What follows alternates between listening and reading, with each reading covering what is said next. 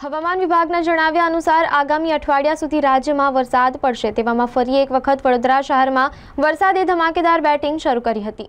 હવામાન વિભાગના જણાવ્યા અનુસાર આગામી અઠવાડિયા સુધી વરસાદ પડશે. તેવામાં ફરી એકવાર આજે વરસાદની બેટિંગ શરૂ થઈ હતી.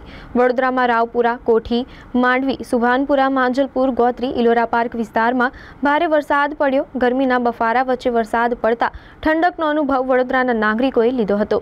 સતત બે દિવસથી સાંજ થતાં જ વરસાદનું આગમન થઈ રહ્યું છે. છેલ્લા બે દિવસથી ગરમી અને બફારો નાગરિકો સહન કરી રહ્યા છે, ત્યારે વરસાદ પડતાની સાથે જ ઠંડક પ્રસરી જવા પામી હતી.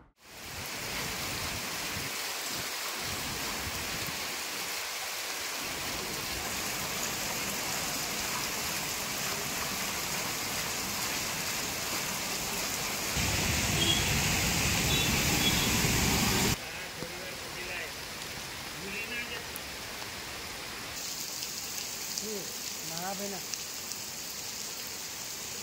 જોઈએ